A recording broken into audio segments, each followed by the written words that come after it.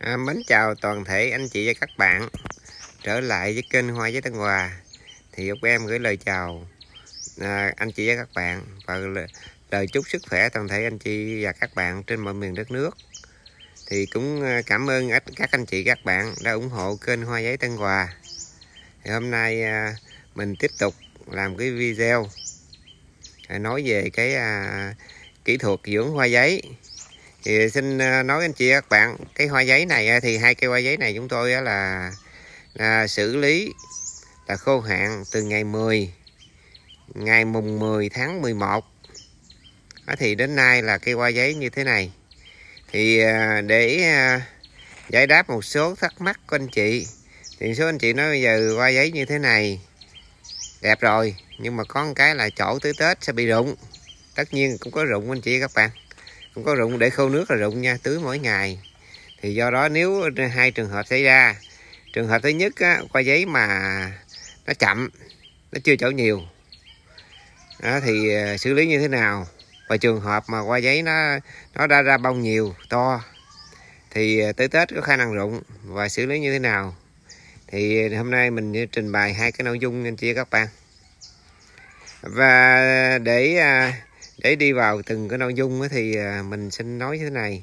Nội dung thứ nhất là đối với coi giấy mà to này, to như thế này thì cái thứ nhất anh chị là phải tưới nước mỗi ngày, là có thể sáng tưới và chiều tưới, không được tưới trên hoa nha anh chị các bạn. Và mình trong cái thời gian tưới thì mình à, nên à, tưới sáng và chiều mát, nên cung cấp đủ lượng nước cho cây hoa giấy. Cái thứ nhất là, thứ hai là bón phân thì mình pha loãng cái phân là à, axit humic trong biển và kali.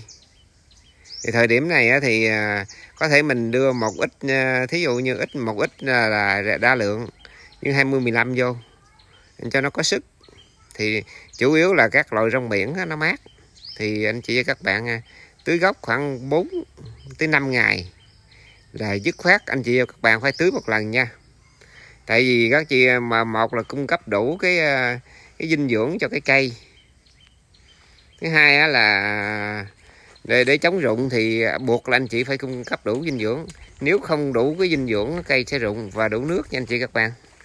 Cây hoa giấy như thế này là tôi bảo đảm là chơi à, tới tết vẫn bình thường. Đây trong, ra không phải là những cái hoa to này không, ở trong những cái đầu lọc nó rất là nhiều hoa nhuyễn nha anh chị các bạn.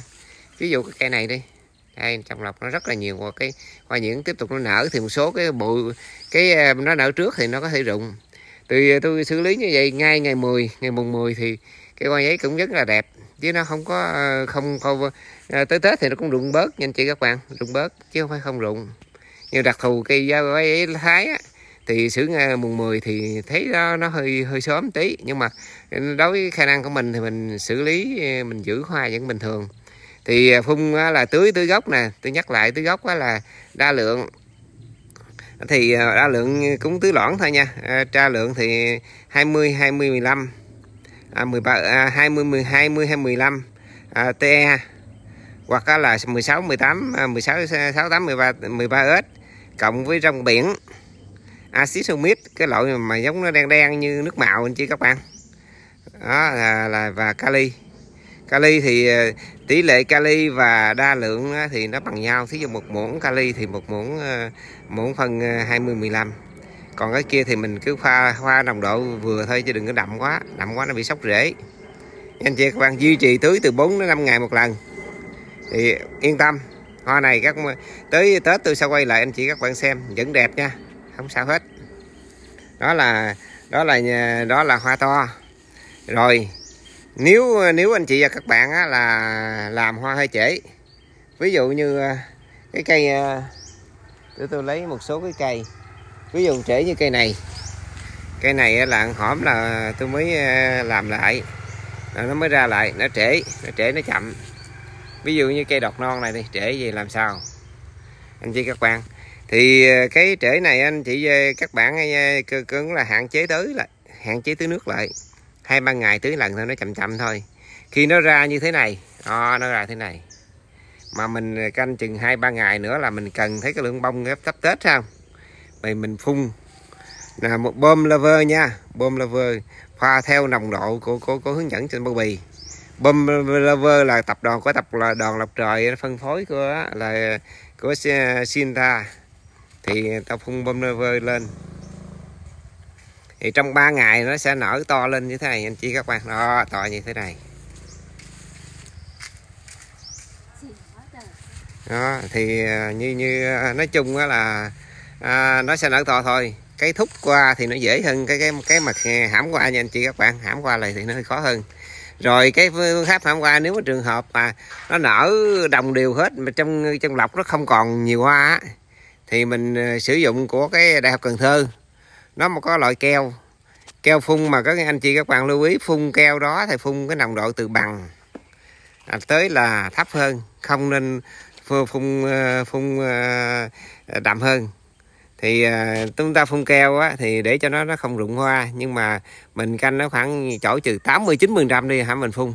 Đừng phun sớm nha. Những như những cái lọc trong mà mình phun sớm thì nó có thể nó chậm lại hoặc nó ngạn lại.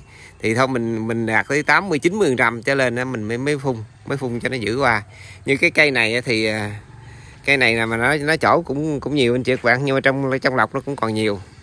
Đó thì nha anh chị các bạn. Thì à, mình cũng quay à, cho anh chị các bạn xem tham khảo một số cây. Như đây là cây ấn độ. Đây, cây ấn độ thì cũng mới trổ thôi. Nên nói chung năm nay tôi không có ghép nhiều không có thời gian ghép nhiều, chỉ làm ờ, cho có để trang ờ, trí thôi, chứ không có nhiều. Đó, nha anh chị các bạn. Thì ờ, những cái hoa này á, thì nó hơi thưa, nhưng mà nó tiếp tục cái cái lập cái ngọn nó vẫn còn mang mầm hoa, nó tiếp tục nó ra hoa. Nha anh chị các bạn. Đây thì cây này tôi bứng, nó bị đứt, hơi đứt rễ, bể bầu đứt rễ thì nó hơi héo héo. Vậy chứ mình tưới dưỡng lại. Ví dụ như cái cây thái này. Đó, thì cái này vừa dặn tết lắm chị, các bạn cây đó cũng không lo gì nó cũng là mình mình chịu khó mình tưới thường xuyên. Đừng bỏ nước bỏ nước là nó rụng. Thì tôi quay sơ bộ một số cái nội dung anh chị các bạn các anh chị các bạn nhớ lưu ý nha là nếu nếu chúng ta mà mà mà sớm á, thì mình cứ ờ, mình duy trì tưới nước. Phải đảm bảo cái chế độ tưới nước. Đừng bỏ tưới nước nha bỏ tưới nước là nó rụng hết.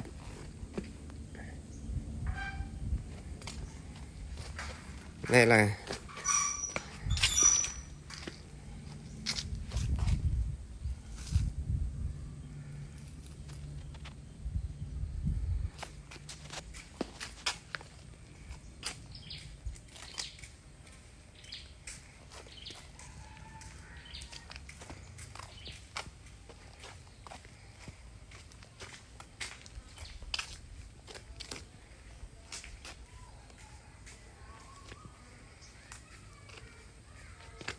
nói chung á là à, đây cũng có mấy cái cây hoa giấy mà anh bị làm như nó cái màu đỏ này nó chậm hơn. Cũng xử lý như vậy nên mới giờ nó mới mang lọc qua, qua nhỏ nhỏ thôi nó chưa qua ra, ra hết cái màu đỏ nha. Cái màu cái màu tươi màu à, màu hồng đỏ thì nó nó nó mới ra. À, đây là cái ấn độ anh chị các bạn. Đây ấn độ. Thì à, cái ấn độ này bông đặc biệt bông nó rất là to và nó chuyển màu mới trổ thì màu trắng này từ từ nó phớt hồng lên cái bắt đầu nó đậm cái nó rụng. Còn đây là cái ờ, mai giấy malai. Thì cái dòng malai này thì ờ, nó cũng vừa tết nha anh chị. Cái này cũng vừa tết đó thì đây tôi quay một số đây là cây cẩm thạch màu gà, đây cây cẩm thạch màu gà cái phớt hồng mấy cái dòng phớt hồng này thì hình như nhiều người chuộng nó lắm.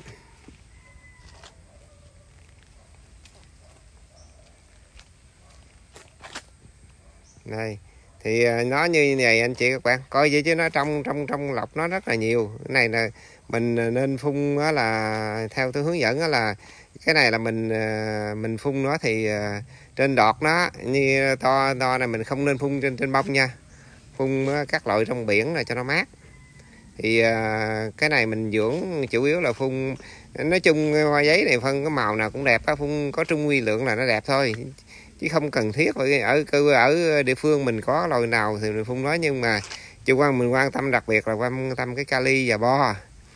Thì mình phải à, đảm bảo cái lượng kali và bo. Bo thì nó chống dụng nói chung nó chống dụng thì mình phải duy trì những loại thí dụ như can à, kali bo hoặc canxi bo nói chung là cái nào cũng được. Thì ta phun mà phun phun thì lòn với trong anh chị lòn lòn ở trong trong con cây á, phun trên bám lá hạn chế phóng phun lên bông đó, thì à, mình cũng chia sẻ một số cái nội dung cho anh chị các bạn nắm đây là cây malai cây malai này cũng ngay tết lắm anh chị các bạn. Mà cây lai malai này làm như hổm mấy đợt mưa nhiều lá nó hơi bung lá nhiều hơi nhiều lá. Tuy nhiên thì ờ, bông cũng nhiều lắm. Vài bữa là nó trổ lên là nó lắp hết. Trổ hết.